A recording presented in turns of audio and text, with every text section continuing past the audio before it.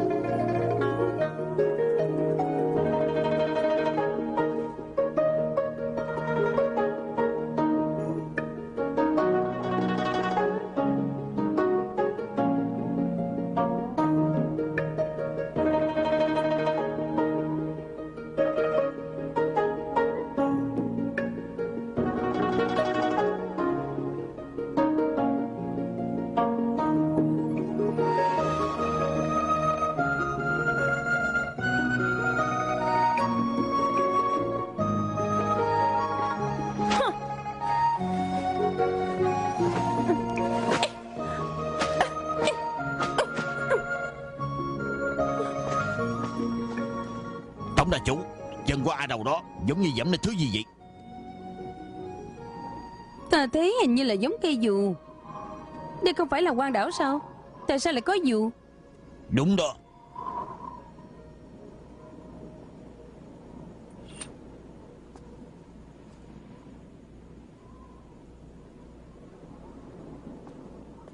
Ê.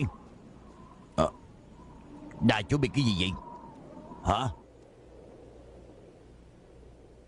Ta thật không ngờ Lại có kết cục như vậy. Triệu Du Kỵ, Minh Chủ. Thực ra hắn vốn không có quan tâm tới tam đại thế gia chúng ta. Và cái điều đáng giận hơn Là hắn đã giấu tất cả mọi người, Lén lút đi vào ác nhân cốc, Bắt cóc con gái của Dương Di Phong, Sau đó trở về thập nhị liên hoàng ô. Làm giống như là Hắn đã thắng một trận lớn vậy. Diệp đại ca vô cùng tức giận, Đã đem quân rời khỏi liên minh. Rút về tạng kiếm Sơn Trang.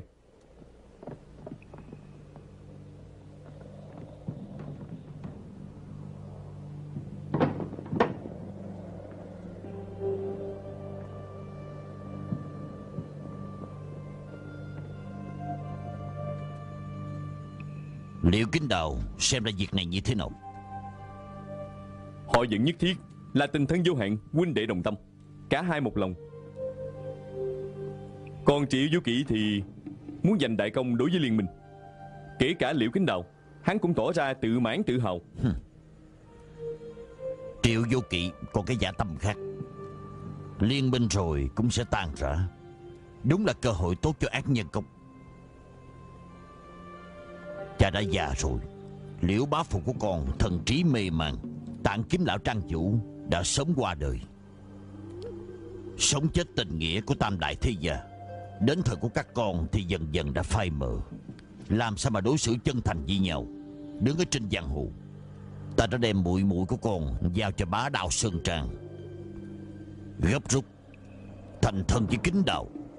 Ít ra cũng giữ được tình nghĩa thâm giao Của đường gia bảo ta Và bá đạo Sơn Trang. Như vậy điều mà cha lo là? Vô hình à. Con cũng phải đương gia rồi. Nghi thức thành hôn lần này Của muội con Cha sẽ không đi nữa. Con hãy thay mặt cha Mà đến bá đạo Sơn Trang Để đồn đốc làm việc này. Hử? Dạ. Xin cha yên tâm. Nè Đây là cơ hội. Ta phải giết chết cha con đường gia Để trả thù cho sư phụ. Đây không phải là mục đích chủ yếu của chúng ta. Lý do gì mà ngươi muốn bảo vệ hai tên gian tặc này? Ngoại trừ hành tẩu giang hồ Điều quan trọng nhất là chữ tín. Người đã hứa gì với ta Không lẽ Tiểu Diệp Tử không có đường gia bảo? Nhất định không có. Vậy thì cũ đi đâu? Bá Đao Sơn Trang Liên minh đại doanh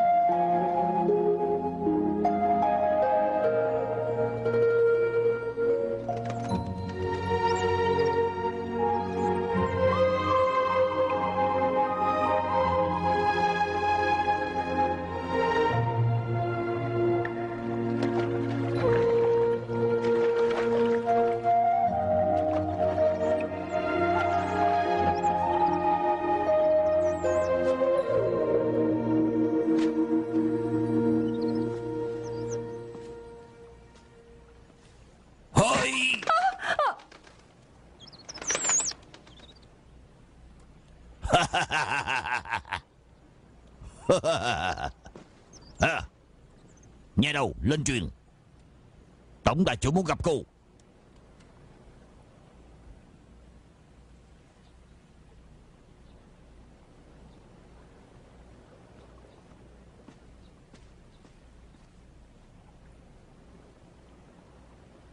Mình đi.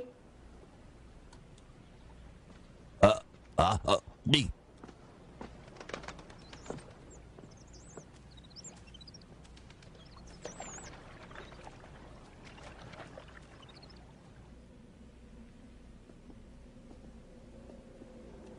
Tổng đại chủ Người đã đến. Cô chính là ái nữ của ác nhân cốc Dương Di Phong. Không ngờ cũng khá xinh đẹp ha. Ta có đẹp hay không liên quan gì tới ông? Biết điều Mau thả ta đi. Coi chừng cha của ta sẽ chặt ngươi ra làm tắm ảnh. Cô đích thật khá xinh đẹp Nhưng mà lại quá miệng lưỡi. Hôm nay bổn đại chủ Có nhã hứng muốn coi biểu diễn Ta biết là cô biết nhảy À phải. Hay là gì? Nếu như cô nhảy múa, Làm cho ta cảm thấy vui. Ta sẽ thả cô về đoàn tụ với cha già. Thế nào? Nhảy múa nhanh lên.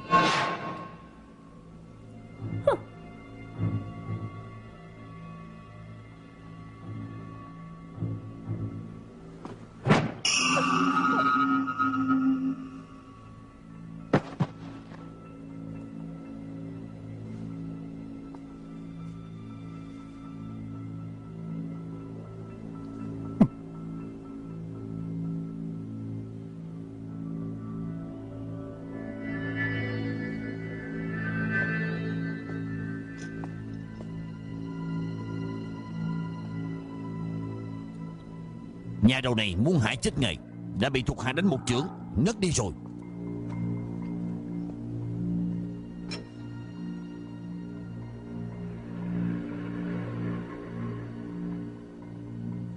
Sao lại như vậy? Ừ, ừ, ừ. Là sao vậy? Cổ chết rồi.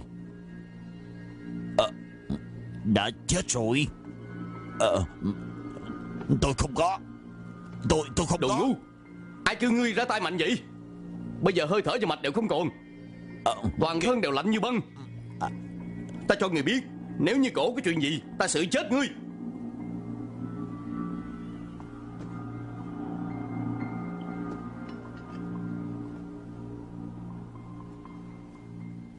Mau đi kêu đại phu. Ờ, ờ, Dạ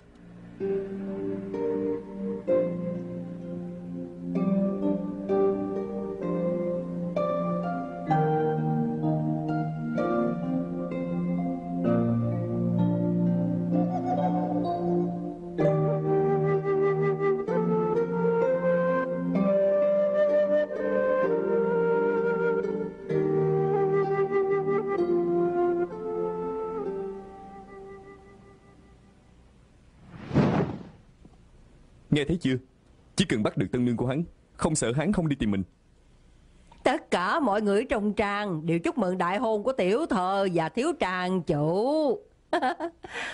Hỷ đường, từ sớm đã bố trí xong rồi. Ngày mai sẽ bái đường. Giờ lành này là do trang chủ của chúng ta cho phép.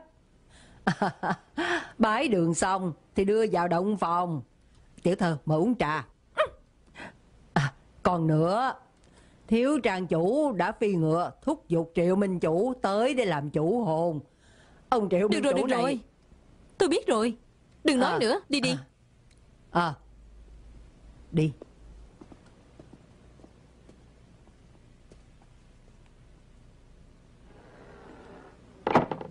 Đợi ta quay về.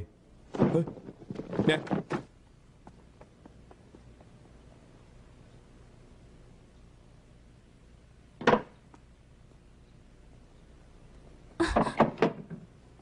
Diệp ca ca, Huynh chúng ta đi.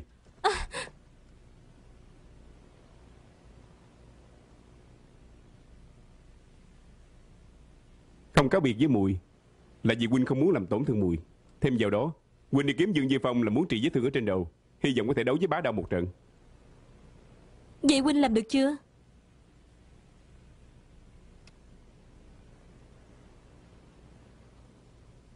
Đêm nay Huynh tới. Không phải vì muội. Có đúng không? Huynh đang nghe ngóng tung tích của Diệp tử cô nương.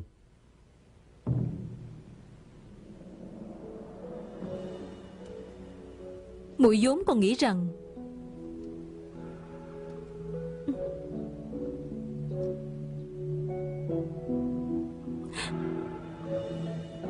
Đại thù lớn của cha muội chưa trả Còn đại thù của huynh chưa báo.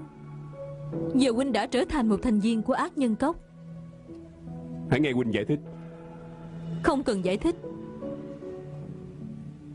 Ngũ công tử Chúng ta vốn không có duyên.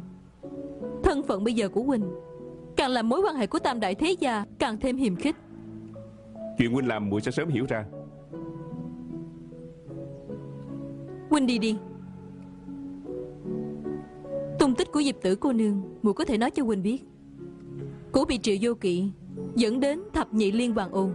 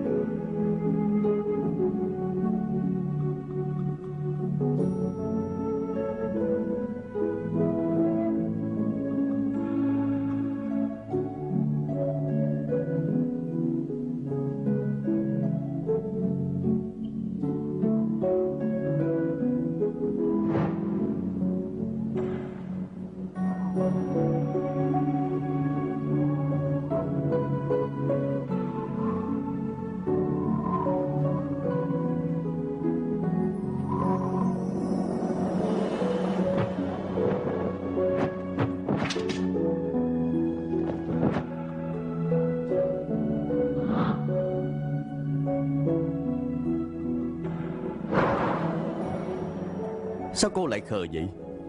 Cô có biết không? Ta dự định sau khi làm xong chuyện, Sẽ đưa cô về nhà. Sớm biết như vậy, Ta đã không bắt cô. Hại tính mạng của cô.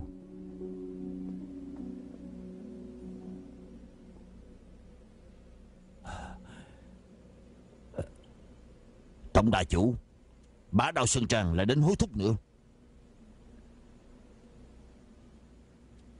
Bây giờ đi Vẫn còn kịp mà.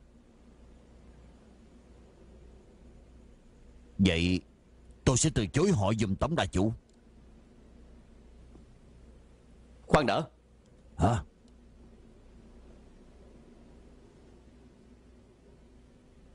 Chuẩn bị y phục cho ta. Dạ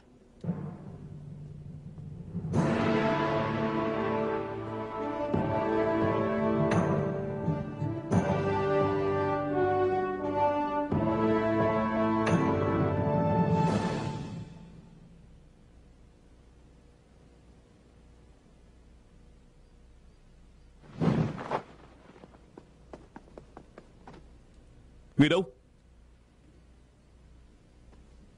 Cậu không đi. Đâu phải ta kêu ngươi đi mời. Ta kêu ngươi đi bắt người. Nếu ngươi không đi, Ta đi.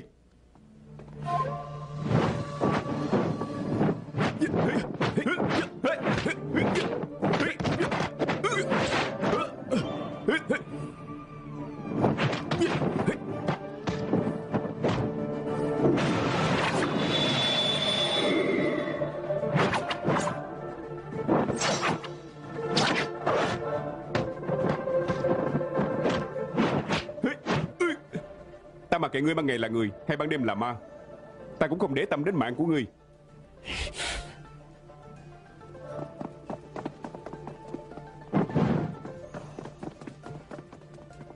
Tiểu Quyển xảy ra chuyện gì?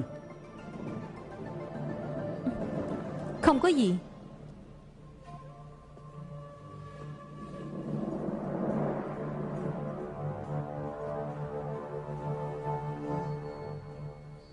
Ngày mai là nghi thức đại hôn. Phải canh chừng nghiêm ngặt. Dạ.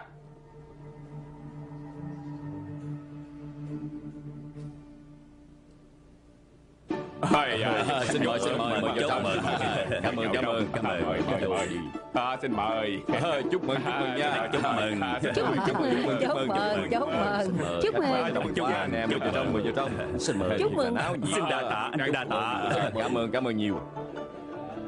Xin mời, mời vô trong. Xin mời Chúc mừng, chúc mừng. Nhiên. Chúc mừng Đa tạ, xin đa Cảm ơn nhiều. Chúc mừng, chúc Xin mời Cảm ngồi. Ơn, cảm ơn. Ờ, Xin mời ngồi. Cảm. Xin đa tạ. Cảm ơn tới dự. Xin mời. À, Lão phu nhân, Chúc chúc mừng, mừng, lão chúc phu mừng nhân. Chúc mừng. Chúc mừng, chúc mừng. Cảm ơn. Chúc mừng, chúc mừng. Tổng đà chủ thập nhị liên hoàng ô Tam đại thế gia liên minh tổng đà chủ triệu vô kỳ đó Mời Mời. Mẹ Nghĩa huynh đến rồi. Thật à? Mau ra nghênh tiếp.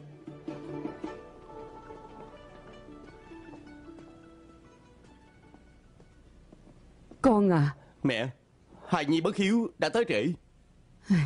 Mau đứng dậy đi. Con có thể đến là mẹ đã rất vui rồi. Không cần phải đa lễ như vậy À phải, chúc mừng đại hỷ của hiền đệ. Và chúc mừng đường môn và bá đào kết thân với nhau. Cảm ơn, cảm Nghĩa ơn huynh có thể đến được đây Đệ đã cảm thấy rất vui rồi Đem qua đây. Tặng cho đệ. Nghĩa huynh Cần gì phải hậu lễ Đệ làm sao có thể nhận được Hỉ, đệ đừng khách sáo với ta. Hử? Mẹ, nghĩ đệ, con đây không thể ở lại để dự hôn lễ. Bởi vì con phải gấp rút trở về. Còn về hộp châu báu này, coi như ta tặng cho tử quyển của nương một chút lễ vật. Ây da, con à Tại sao con vừa đến lại phải đi ngay Đột nhiên xảy ra chút việc. Mẹ, mẹ đừng trách con. à, Không đâu Nghĩa huynh Huynh mau đi đi Đệ sẽ giải thích với tiểu quyển Thôi được Con xin cáo từ Ừ, đi đi. À. Đi đường cẩn thận nha.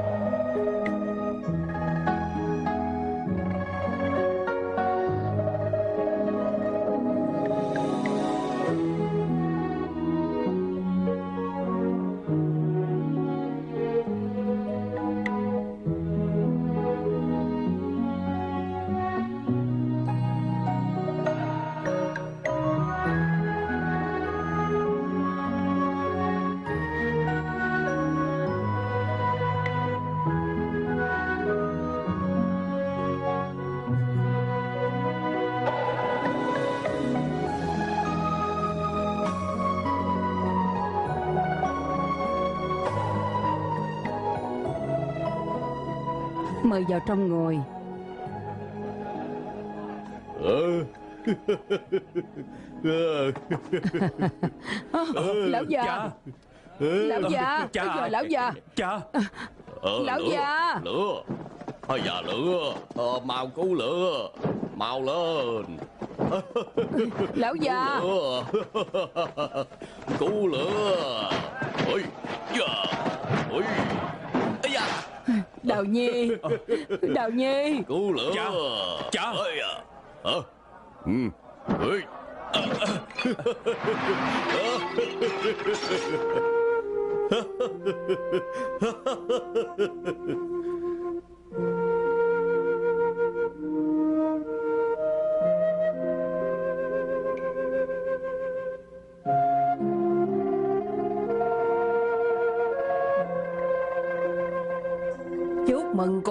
ngày đại hỷ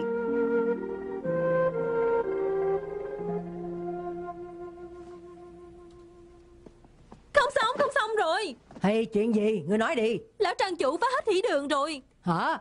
Ờ, vậy thì đại lễ bái đường sao đây? Thiếu trang chủ nói Bất trung bất hiếu Thiên mộ nhân quán Tạm quản đại lễ lại Ngày khác tính tiếp Hả? Hey.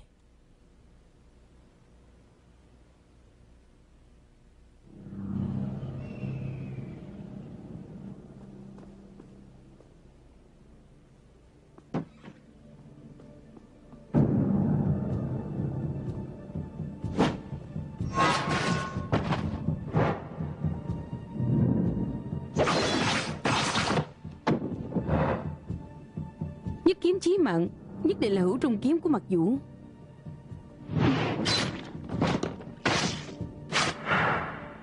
Mạc Huynh Ngươi đang làm gì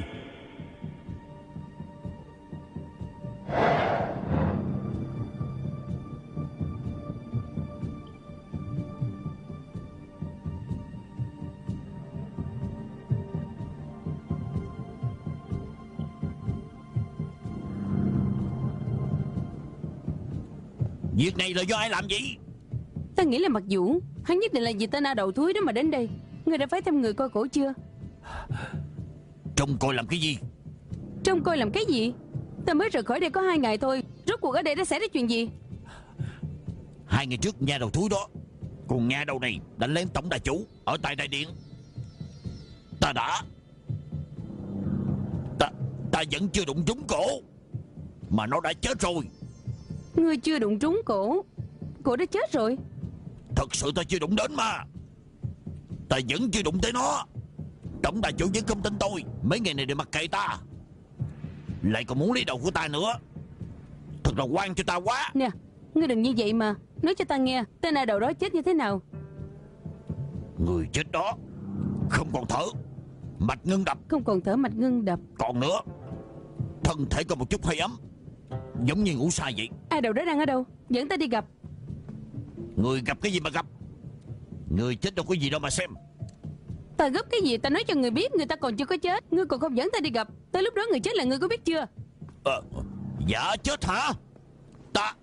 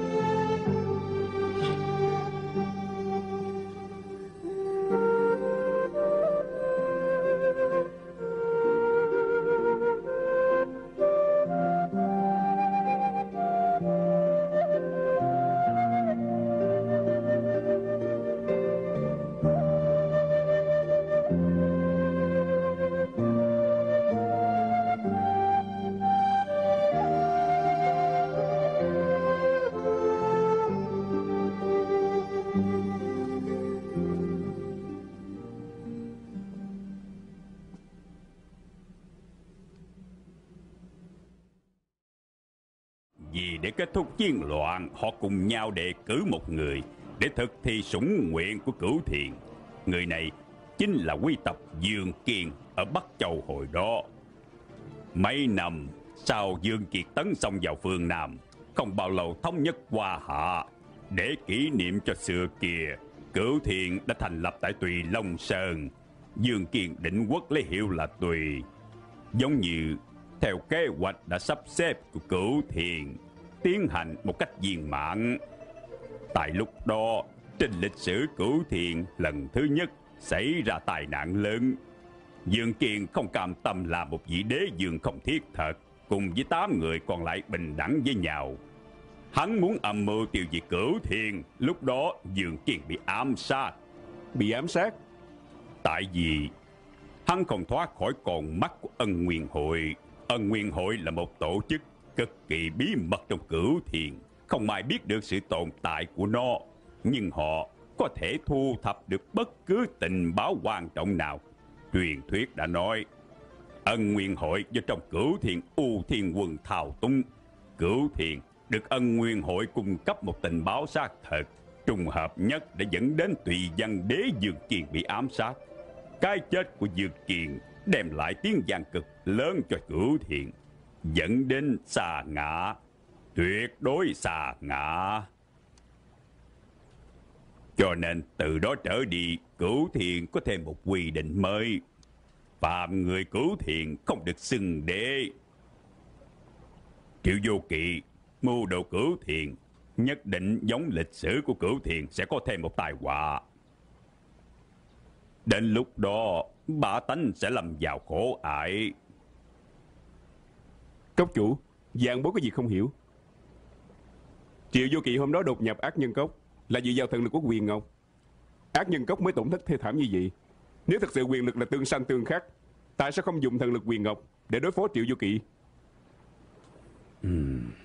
Cửu thiền là lý tưởng tốt đẹp đại đồng. Quyền Ngọc là chính vì lý tưởng đó mới tồn tại. Ta cùng tam đại thế giả có tư thù, làm sao để cải lý tưởng? Và quyền Ngọc chịu kinh rẻ hả?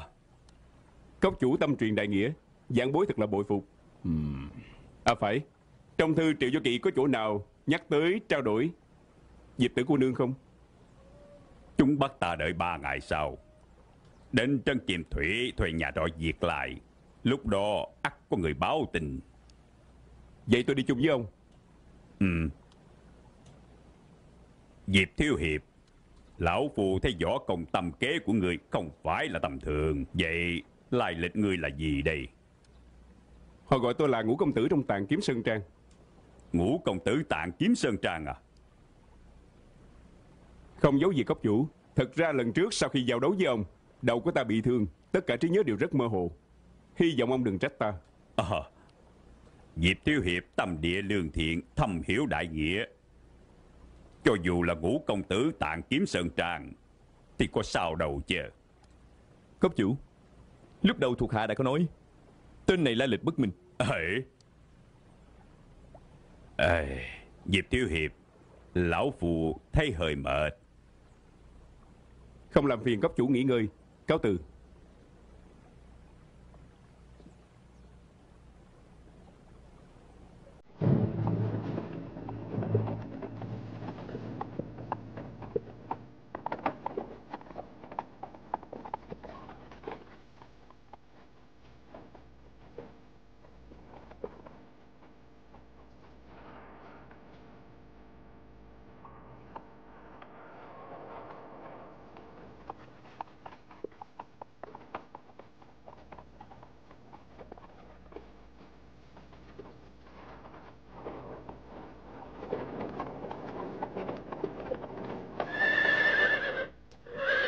Đem hàng hóa vào tiêu cục, cho thêm người trông coi. Dạ.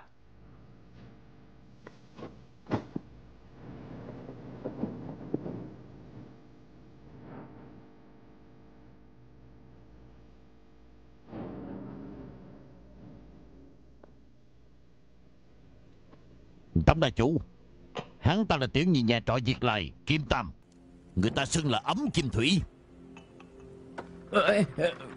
Còn không mau khấu kiến tổng đại chủ. Ờ, ờ, Kim Tam khấu kiến tổng đại chủ. Không cần quản sự. Tất cả mọi việc Đều nằm trong an bài của ta. Tiểu nhân xin lỗi đã mạo muội. Tổng đại chủ là người ở phương nào Mà khiến cho ai bước vào trấn Kim Thủy Đều phải run sợ. Ngươi thiệt là miệng lưỡi ha Ngươi yên tâm. Sau khi xong việc Bổn đại chủ sẽ không bạc đãi ngươi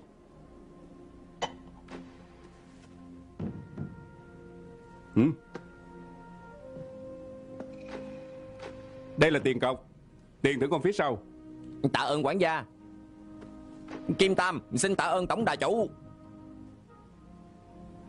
Đừng nói lời dư thừa Mau nói tin cho ta biết à, à, Tổng đại chủ Xin tổng đại chủ hãy tin vào cặp mắt của tiểu nhân Chính là Dương Di Phong Hoàn toàn không sai.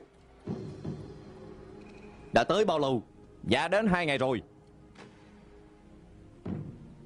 Có bao nhiêu người? Ừ, Ngoài Dương Di Phong Còn có ba người nữa. Tổng đại chủ à Tôi đã nhìn qua rồi. Một tên công tử bột Hai chàng trai toàn bộ đều không quen biết. Ta nghĩ Chắc là Mạc Vũ Khang Tuyết Trúc Và Thẩm Minh Phong.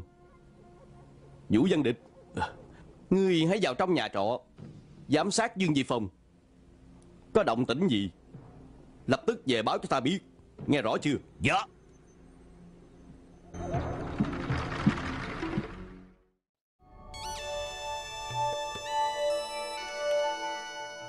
没有起，没有落，没有被洗的佛，只管结黑色， 眼眶红色。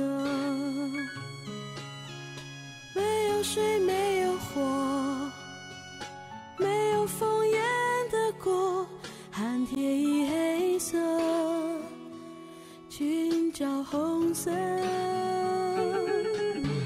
谁记得